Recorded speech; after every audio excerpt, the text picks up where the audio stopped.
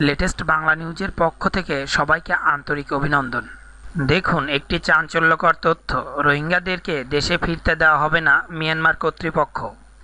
মিয়ানমারে সেনা অভিযানের ফলে রাখাইনের সৃষ্টি মানবিক সংকট থেকে উত্তরণে ত্রাণ সহায়তাকারী সংস্থাগুলোকে কাজ করতে সুযোগ দেওয়ার জন্য অস্ত্রবিরতির ঘোষণা দিয়েছে আরকান রোহিঙ্গা সালভেশন আর্মি।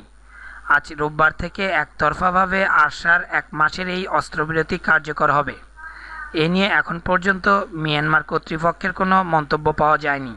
তবে এর আগে মিয়ানমারের একজন মন্ত্রী বিবিসিকে বলেছেন, রাখাইনে সহিংসতার কারণে যেসব রোহিঙ্গা মুসলমান মিয়ানমার ছেড়ে পালিয়ে গেছে, তাদের সবাইকে দেশে ফিরতে দেওয়া হবে না।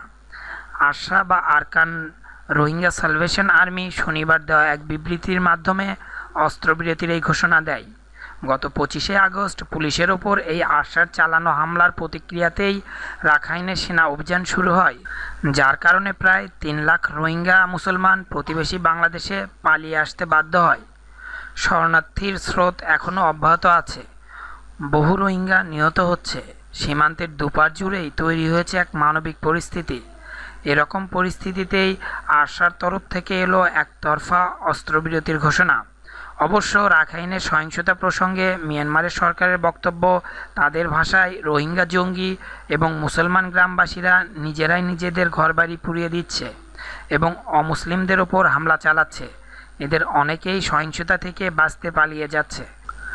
কিন্তু বিবিসির একজন সংবাদদাতা গত বৃহস্পতিবার রাখাইনে গিয়ে দেখেছেন, সেখানে একটি মুসলমান গ্রাম জ্বলছে, যেটিতে অগ্নিসংযোগ করেছে রাখাইনের একদল বৌদ্ধ ধর্মাবলম্বী।